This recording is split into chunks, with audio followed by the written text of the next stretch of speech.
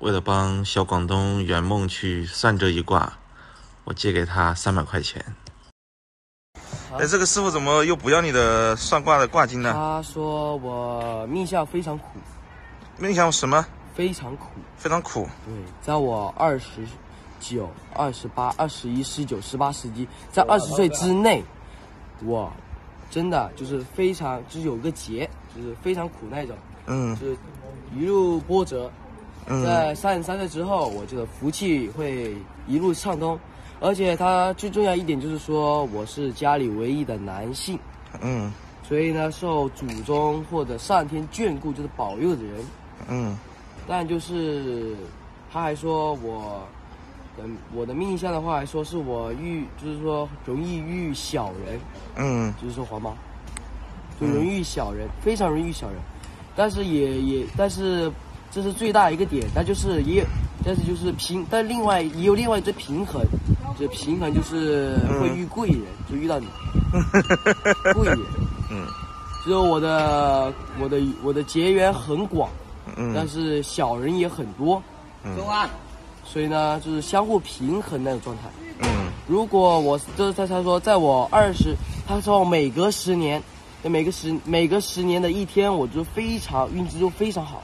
比如说今年的零，就二零二零二零二零二九年，我我运气还非常好，就是说，就是上天保佑，就是上天会，就是说天上的老祖宗会会上一次身，上就是敬我身，就上身一次，嗯，就会眷顾我，每每隔十年就会眷顾我一次，嗯，可以。然后呢，到我三十岁之后，我的福气一路畅通。他说我的命相是非福非煞之星，非福非煞之星是什么意思啊？就是你并非是有福，也并非是有有有有邪的那种，就非福非就非福非煞。嗯，你要是把这个视频发网上的话，要是有有懂这一行的师傅的话，也可以你你可以给我看一下。和你以前的老家的师傅算的接不接近呢？差不多吧。就是他说最最后一点就是我三十岁之后一路畅通，就是这这这两个是一样的。嗯，就是他说他但是老家那一个是说我三十岁就三十岁后福气会一路畅通。嗯，啊这也是说我三十岁后福气一路畅通。嗯，但是他说的我在十九、十八、十七、二十岁之内，我的福我我就是非常困难的那种。嗯，就是说就是说就真的就非常困难，就非常不容易。你自己要坚守这份。非常不容易，就容易遇小人，非常多的小人，也容易遇非常多的贵人，结缘很广，哪方面都不差，但孝敬父母啊就非常差。嗯，就说我对父母的孝心很差，如果能孝敬父母，会更受祖宗爱戴。这样说，他他还说，他说这并非我的原因，是我父母的教育的问题。嗯，准不准？上的感觉？准。算了算了，应该是是非之。大雨还在下，我的心里好害怕。你干嘛？哎呦，干嘛？干嘛？你怎么？你干什么？忙什么呢？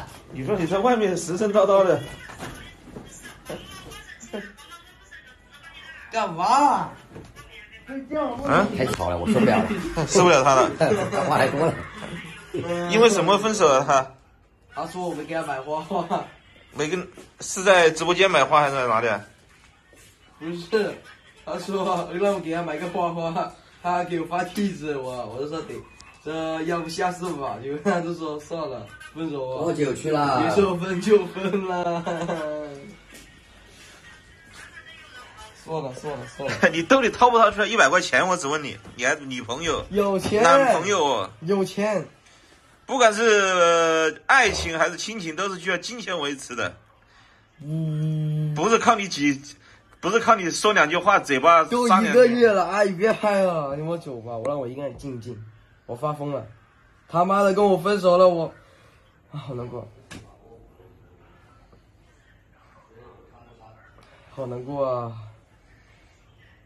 等你分十次手，类似这样经历十次后，你才会懂点事啊。你就你就厚点，你怎么老是借他的衣服穿呢？我少兄弟好个，我我他他他不能挖个回嘛他，做个有良心嘛他，是不是？豪哥，你你算算算，给你。无所谓了的，我我我还是我以前对他也不差，好个的，我们都都招一个人了的，对吧？我这马上要，今天又回宜昌，要回去陪儿子四五天。小贵州就哦，小广东啊，自小广东就托付给你了，我自取力。对自己，就这么说定了啊。我给你解决五天的房费，黄毛解决，就是说再给你二十块钱，然后黄毛照顾你的吃喝啊。好是，我小广东眼中的贵人，把他托付给了他眼中的小人照顾几天，会发生什么故事呢？敬请期待。